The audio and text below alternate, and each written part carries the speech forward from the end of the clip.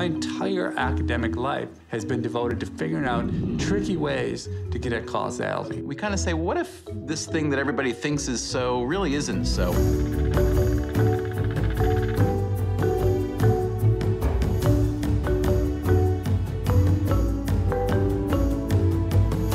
Sounds ridiculous, but you see it all the time, people trying to fight against or build up something that they're sure is connected to something else, which it turns out just isn't.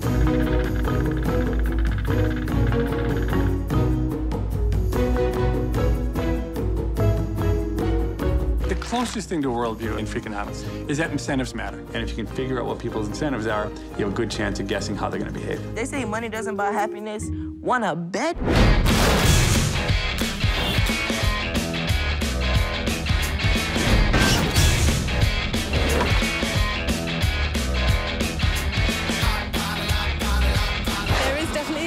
Distinction between names for white people and names for black people. Maria, Mary, Billy, Becky, Malik, Shamika. Shaquem. You know, Oprah is popular.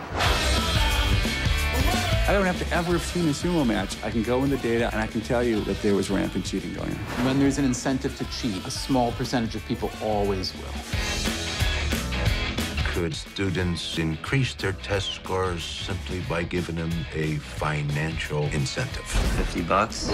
You are getting straight A's from me. Yes. We have a crime problem that is out of control. clear the numbers are dropping. What's not clear is why. The line between like economist and criminal is incredibly thin. And what about journalists? No line. Uh,